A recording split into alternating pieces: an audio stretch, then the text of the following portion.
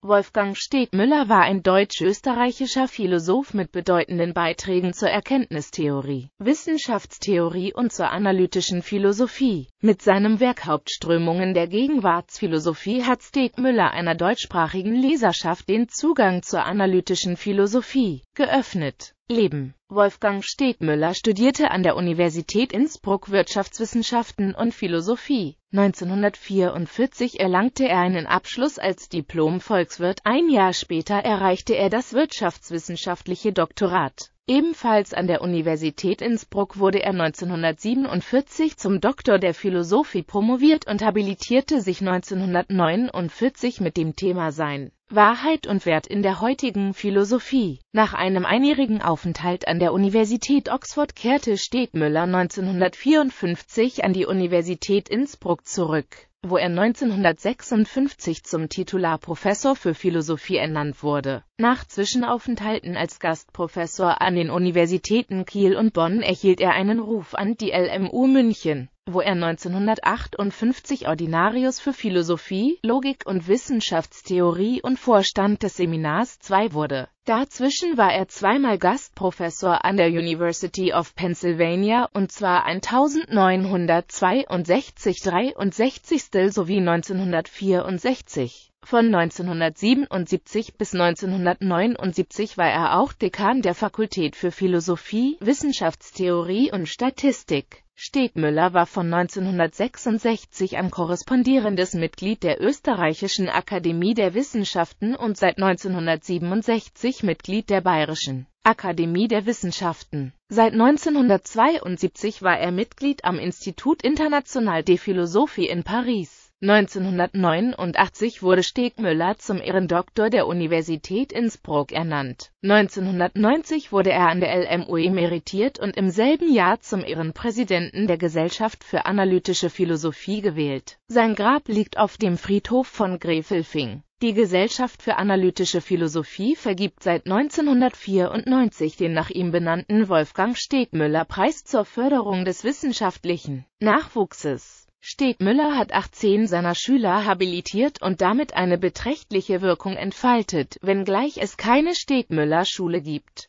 Gemeinsam ist allen seinen Schülern jedoch die Orientierung an der analytischen Philosophie und die Insistenz auf formalen Verfahren. Zu den Schülern zählen Wolfgang Balzer, Ulrich Blau, Klaus Butzenberger, Max Drömer, Wilhelm Essler, Peter Hinscht, Norbert Hörster, Andreas Kamler, Godehard Link, Georg Mückle, Carlos Ulises Molins, Felix Mühlhölzer, Mihai Nadin, Wolfgang R.D., Julian Niederrümelin, Matthias Wager von Kibet, Franz von Kutschera, Eike von Savigny, Reinhard Werth, Wolfgang Spohn und Hans Rott. Wissenschaftliche Arbeitsfelder Stegmüller wurde am Anfang seiner Laufbahn im Jahr 1948 von Karl Popper auf den logischen Positivismus aufmerksam gemacht, dessen philosophische Position nach dem Zweiten Weltkrieg in Deutschland nahezu unbekannt war. In der Folge orientierte er sich dann insbesondere an Rudolf Carnap ohne jedoch die politischen und antimetaphysischen Auffassungen des Wiener Kreises aufzunehmen. Nach eigener Auskunft ergab sich für ihn der Anschluss an Carnap daraus, dass von den in Frage kommenden Positionen einerseits Wittgenstein eine streng wissenschaftliche Philosophie für unmöglich hielt und Popper andererseits der Sprachphilosophie keine besondere Bedeutung zumaß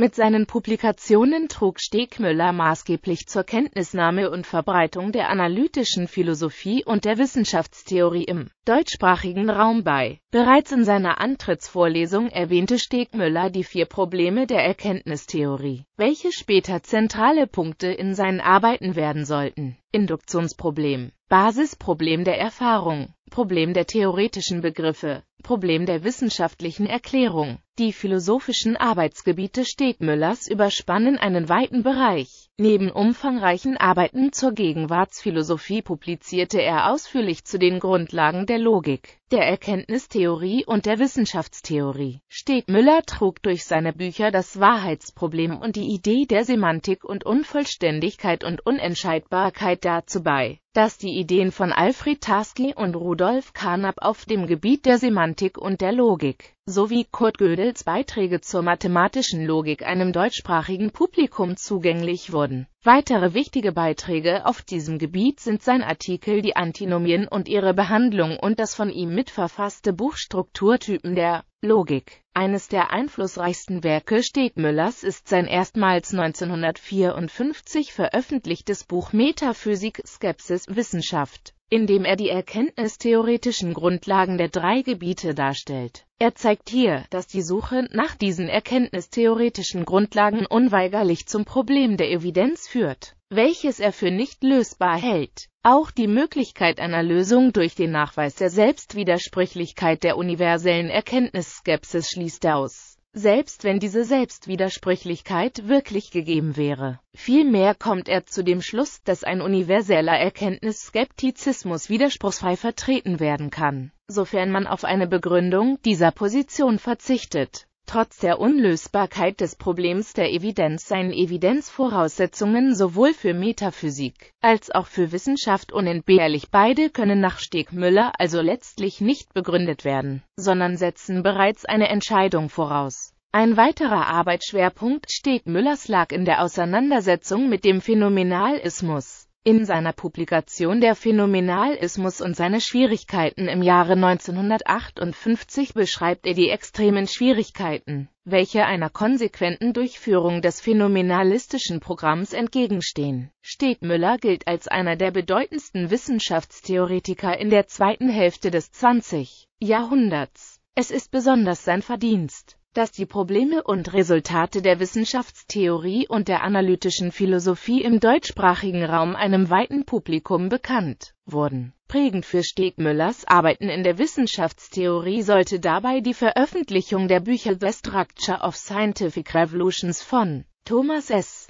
Kuhn im Jahre 1962 und The Logical Structure of Mathematical Physics von Joseph D. Snead im Jahre 1971 werden Während Kuhns Publikation ihn nach eigenen Angaben in eine tiefe geistige Krise verstrickte, sah er in den Ideen Sneads sowohl einen Ausweg aus der Rationalitätskrise der Wissenschaften, welche oft aus Kuhns Publikation herausgedeutet wurde, als auch eine angemessene Antwort auf das Problem der theoretischen Begriffe durch die Ausarbeitung der Sneedschen Ideen durch ihn und seinen Umkreis wurde als wissenschaftstheoretischer Strukturalismus eine bedeutende Richtung innerhalb der gegenwärtigen Wissenschaftstheorie. Werk Hauptströmungen der Gegenwartsphilosophie. Erste Auflage Humboldt Verlag, Wien, Stuttgart 1952. Zweite neu bearbeitete und erweiterte Auflage 1960 bei Kröner, Stuttgart mit weiteren, Teil wesentlich erweiterten Auflagen bis zur vierbändigen Ausgabe 1989 ISBN 3 zu 520 30807 X. Metaphysik, Skepsis, Wissenschaft. Humboldt Verlag, Frankfurt, Mai 1954. Sprache und Logik. In Studium Generale, Band 9, 1956. Das Universalienproblem einst und jetzt.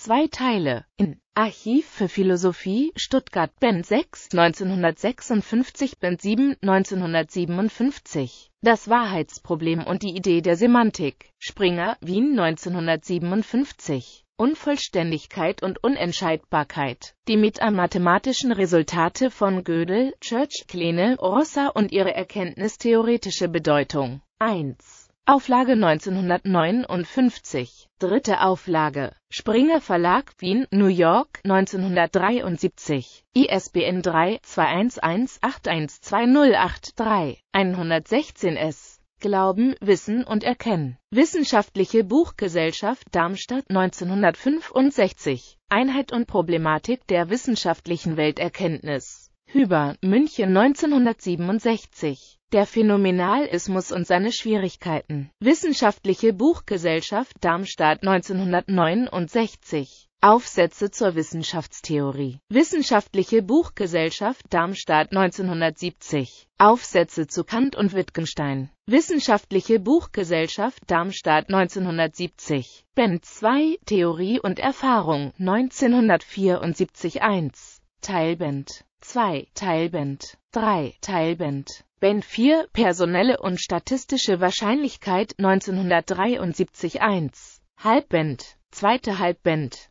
Statistisches Schließen, statistische Begründung, statistische Analyse 1973. Das Problem der Induktion. Humes Herausforderung und moderne Antworten. Wissenschaftliche Buchgesellschaft Darmstadt 1975. The Structure and Dynamics of Theories. Springer, Berlin 1976. Rationale Rekonstruktion von Wissenschaft und ihrem Wandel. Riklem, Stuttgart 1979. Neue Wege der Wissenschaftsphilosophie. Springer, Berlin 1979. The Structuralists View of Theories. Springer, Berlin 1979. Philosophy of Economics. Springer, Berlin 1982. Kripkes Deutung der Spätphilosophie Wittgensteins.